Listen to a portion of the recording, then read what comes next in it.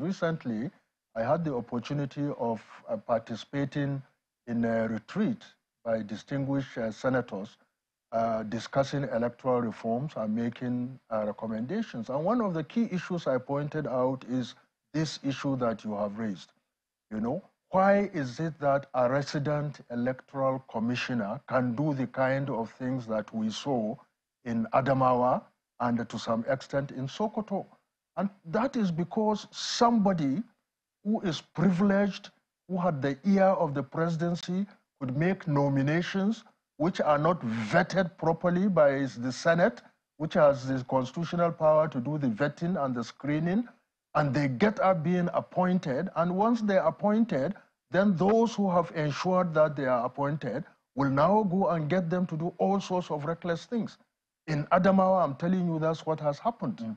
You know, uh, and uh, in Sokoto, so I recommended, one of the things I recommend to be able to deal with this is that the Senate must be very, very serious about screening people who are nominated for appointment in these kinds uh, of places, especially INEC. The law is very clear those to be nominated, whether as resident electoral commissioners or national commissioners or even the chairman of INEC, are people who are supposed to be non-partisan and people whose integrity can be vouched for.